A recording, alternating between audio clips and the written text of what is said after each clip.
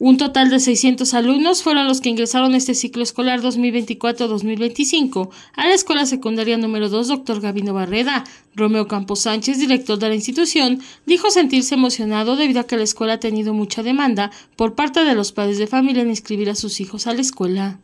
Y fíjese que el, hasta ahorita, hasta ahorita, pues hay un cálculo de pues unos 600 alumnos inscritos hasta este momento.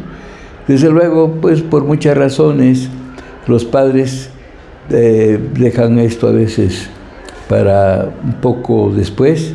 Yo considero que en esta semana ya tendríamos que eh, ver eh, ya a lo mejor una población completa ya inscrita. Comentó que desafortunadamente se registró un 20% de deserción escolar debido a que algunos alumnos ya no pudieron continuar con sus estudios y ahora tienen que trabajar, asimismo por la contingencia de COVID-19. Sí hubo deserción, eh, le digo que en la, eh, por eh, afectó el sismo y luego la pandemia sí afectó mucho y este eh, pues sí, se fue un buen número, sobre todo más en el vespertino, en el turno vespertino, fue donde afectó más.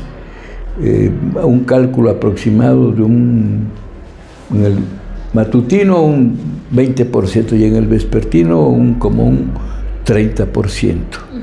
Por último, comentó que la secundaria es la única que cuenta con el programa Escuela para Padres, con el objetivo de orientar a los padres de familia en la educación de sus hijos. Fíjese que ese es un, un, aspecto muy especial para la escuela doctor Gabino Barrera, porque considero que es caso único en el Estado, o a lo mejor caso único en la República, ¿eh?